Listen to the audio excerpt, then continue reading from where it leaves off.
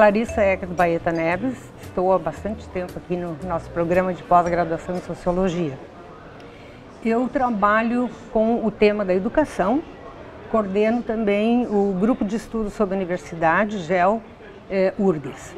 Eh, nesse grupo e na linha de pesquisa Sociedade de Conhecimento, eh, o foco é educação de um modo amplo, mas especificamente a minha área de pesquisa também é ensino superior. Ou seja, eu faço uma sociologia sobre ensino superior.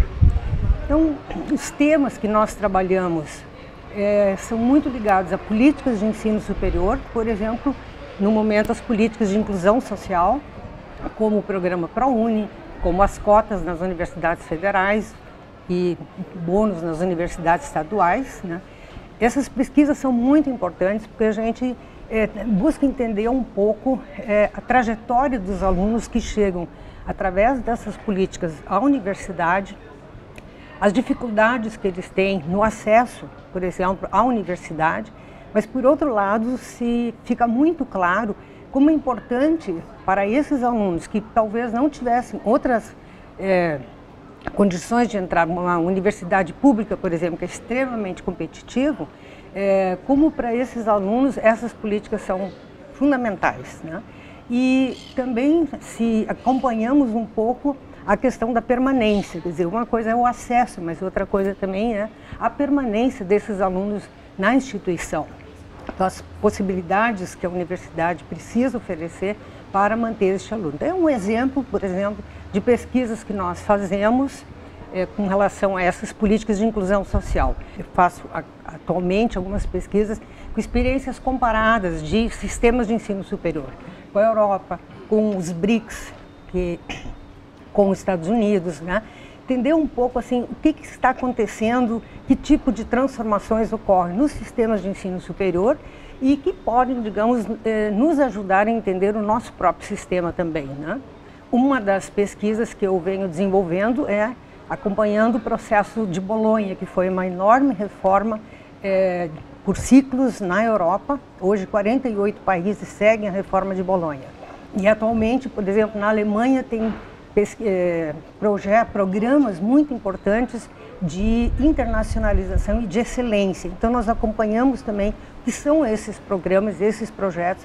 Também aqui no Brasil nós agora temos é, programas de internacionalização das nossas, das nossas universidades. Então são vários temas que são abordados, né?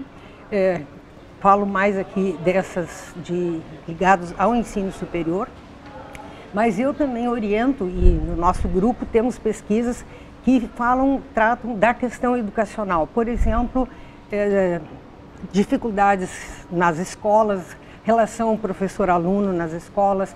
Um aluno doutorando meu, no momento, está trabalhando com a questão da parentalidade, ou seja, envolvimento dos pais é, na trajetória dos filhos, especialmente no ensino médio.